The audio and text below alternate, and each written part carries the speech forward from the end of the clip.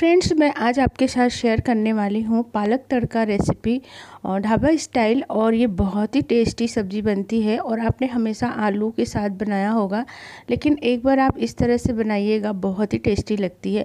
और फ्रेंड्स ये सब्ज़ी जो है आ, मेरी फ्रेंड है और वो यूट्यूब पे सुमन किचन है और वो ये रेसिपी उनकी है और मुझे बहुत पसंद आई थी तो फिर मैंने भी इसको ट्राई किया तो सच में आ, बहुत टेस्टी बनी थी। तो मैंने सोचा कि चलो फिर मैं आप सबके साथ भी शेयर कर thank you so much Suman ji इतनी अच्छी रेसिपी शेयर करने के लिए। मुझे तो बहुत पसंद आई है तो इसलिए मैंने इसको बनाया है। Hello friends welcome back to my channel Pushpalata kitchen Pushpalata kitchen को सब्सक्राइब कीजिए बेल बटन को ज़रूर दबाइए ताकि नोटिफिकेशन आपको सबसे पहले मिले। तो पालक तड़का रेसिपी बनाने के लिए यहाँ पे मैंने पालक लिया है, उसको अच्छे से धो के साफ़ करके उसको चॉप कर लिया है यहाँ पे मैंने और इसको मैंने ले लिया है। यहाँ पर मैंने टू टोमेटो लिए हैं, उनको चॉप करके मैंने ले लिया है। यहाँ पर जिंजर लिया है मैंने ग्रेट किया हुआ ऑनियन चिली और गार्लिक लिया है चॉप करके। तो और ऑनियन को हमें स्लाइस है। अब हम लेंगे और ऑयल ऑयल में हमने डाला है जीरा और जो हमने जिंजर ग्रेट करके लिया है, वो मैंने यहाँ पे ऐड किया है। और जब उसके बाद फिर मैंने इसमें गार्लिक ऐड किया है और चिली और फिर हमने इसके अंदर ऑनियन को ऐड कर दिया। ऑनियन अगर को हमको स्लाइस में ही लेना है और ताकि वो अच्छी लगती है खाने में जब आती है तो तो इस तरह से हमें इसको भून लेना है। और गोल्डन ब्राउन होने तक। उसके बाद यहाँ पे हमने डाला है हल्दी वन फोर्थ स्पून और वन फोर्थ मैंने रेड चिली पाउडर डाला है।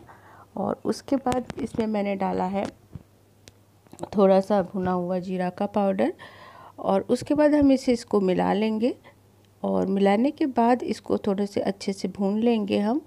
तो आप देख सकते हैं और हमारी अनियन भून गई है। इसके साथ हमें मसाले भी भून लेने हैं। और उसके बाद हमने यहाँ पे डाला है पिंच ऑफ़ मैंने ब्लैक पेपर डाला है। और ये ऑप्शनल है, अगर आपको पसंद हो तो डालिए, नहीं पसंद हो तो नहीं डालिए। और उसके बाद हमने यहाँ पे डाल दिया है जो मैंने चॉप करके पालक लिया था। तो इसके बाद हमें इसे अच्छे से मिक्स कर लेना है। तो यहाँ पे मैंने मिक्स कर लिया है और उसके बाद मैं इसको कवर कर लूँगी। तो यहाँ पे मैंने कवर कर लिया है और एक, उसको एक दो बार हमें देखना है। जब थोड़ा गल जाएगा उसके बाद हमें इसके अंदर टोमेटो को ऐड करना है। चॉप किए हुए टोमेटो को ही ऐड करना है इसमें। ग्राइंड करके नहीं लेना है और थोड़ा हम इस पर साल्ट ऐड कर देंगे ताकि टमाटर अच्छे से गल जाए फटाफट। तो आप देख सकते हैं हमारी सब्ज़ी बन रही है और टमाटर भी थोड़े थोड़े गल गए हैं। और उसके बाद हमें इसी तरह से एक बार मिक्स कर लेना है और फिर थोड़ा देर और हम इसको कवर कर लेंगे। और बहुत झटपट बनती है फ्रेंड्स ये सब्ज़ी और बहुत अधिक टाइम भी नहीं लगता है। तो आप ज़रूर बनाइए ये। मुझे तो बहुत पसंद आई और आप भी बना के देखिए आपको कैसी लगती है। तो बताइएगा ज़रूर कमेंट बॉक्स में कि आपको कैसी लगी। तो यहाँ पे आप देख सकते हैं, पालक, टोमेटो सब अच्छे से गल गया है, बहुत अच्छे तरीके से और सब्ज़ी का कलर भी बहुत अच्छा आया है और सब्ज़ी रेडी हो गई है तो मैं सर्व कर रही हूँ।